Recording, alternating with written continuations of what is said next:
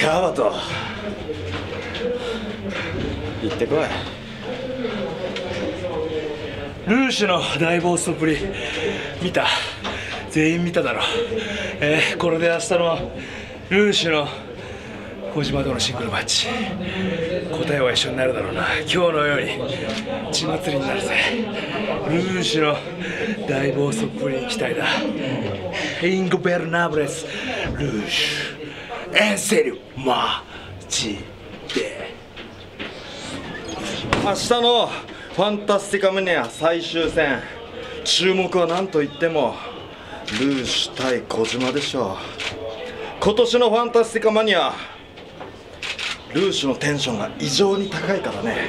小島選手気をつけてくださいよ。あとあさってシングルマッチで対戦する太一。2月の大阪大会シングルマッチで対戦する吉橋。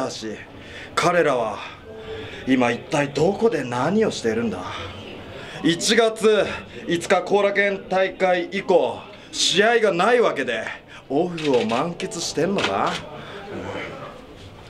プロレス大賞2年連続 MVP の内藤とシングルマッチができんだよ。こんなチャンスないだろ。今日後楽園ホールならタクシーを乗ればすぐ来れるだろ。リング上でもいいよ。バックステージでもいいよ。何か発言なり行動なりを起こせばいいじゃん。そういうとこ彼らに足らないんじゃない？もっと頭を使えよカブロン。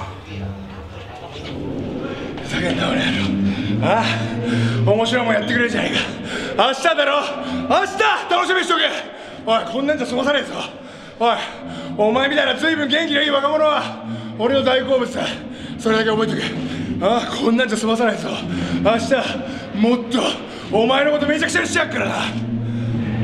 Sí, bueno, muchísimas gracias por todo el po- apoyo de toda la afición japon- japonesa. Un abrazo su amigo Atlantis. Los queremos mucho, todo, todo el Consejo Mundial de Lucha Libre y todos los mexicanos. Gracias, afición, aficionados japoneses. Gracias.